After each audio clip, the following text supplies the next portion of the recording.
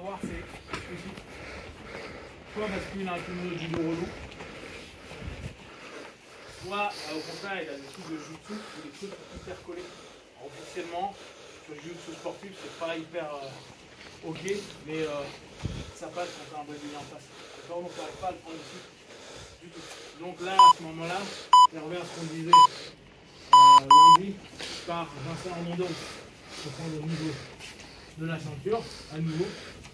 Toujours, je fais ce travail pour aller déstructurer le partenaire. D'accord? Et là, je un changement de niveau bien propre. D'accord? Et là, bah, vous y allez comme vous voulez. D'accord? Si un, un judoka qui son à la con vouloir aller sur le truc, si vous avez une jambe, vous pouvez commencer à aller travailler avec une jambe. D'accord? Vous, vous avez droit à ça pour l'instant. Mais les gradés, vous partez sur des îles internes. D'accord? Donc, on est là. Je galère, je peux pas emmener. Là, je vois que je n'y arrive pas. J'insère. D'accord? J'insère, je déstructure. Changement de niveau, je repasse. Je peux vous montrer après. C'est vraiment en fonction de ce que vous avez besoin. D'accord? Je sais pas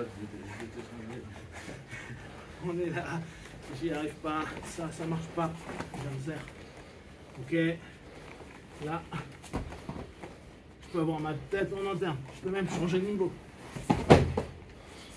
Ok, gardez un maintien jambe au départ, vous pouvez aller sur le 100 kg pour les avancer. Vous pensez, hein, vous, passez direct. Hop, pour aller sur les clés de jambes qui nous intéressent un peu plus. Ok. Allez, bye